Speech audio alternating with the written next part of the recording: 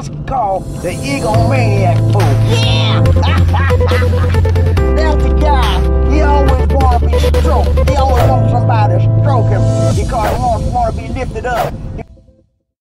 Stay tuned. Well, my friends, this is Bobby D coming to you from Talamban, Cebu, Philippines. I'm having an awesome time in the Philippines today. Hope you are as well, wherever you're from. Hey, today I want to talk to you about what kind of fool you are in the Philippines. What kind of fool are you in the Philippines? Yeah. Woo, what a joy, such a joy to come back to you again, my friends. And today, I want to say for those of you that are here for the first time, you click on your subscribe button and the bell notification icon. So you continue seeing fresh Philippine videos, motivational videos, and the worldwide videos. Now, when you talk about the Philippines, you're saying this is the country where everybody is dating and everybody falls in love sooner or later. Now, the problem is sometimes there are people that are fools. Yeah, there's three type of fools that date in the Philippines. And I'm gonna name them out for you. First of all, there is the educated fool. Uh-huh. Yeah, educated fool.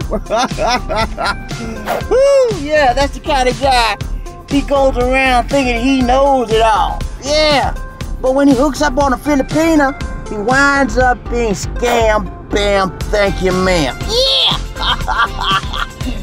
Educated fool. Got all kind of degrees. Got a master's, got a BS, got a doctorate degree, but he don't have a degree in Filipino. Woo! Educated fool. And now, the problem with the educated fool, they never can figure out the Filipino because they think they know it all. So they wind up being scam, bam, thank you, ma'am. For every penny, every peso they got. The educated fool. Yeah, that's the first one. Now, there's another kind of fool comes around here in the Philippines trying to date the Philippines. Mm-hmm. Yeah, you know what I'm talking about. That's the economic fool. Uh-huh, yeah. That's the kind of guy that he think he's a rich man. He got everything in the pocket. And he say, nobody can get my money. But guess what, guy? The economic fool hadn't met a Filipino. when he talks to the Filipino, he opens up his wallet and sends her everything. Woo, that's the economic fool. Uh-huh. Thinks he, he wanted to keep track of every penny. He wanted to keep track of every peso, every dime, every dollar. And then he turns around and meets the Filipino.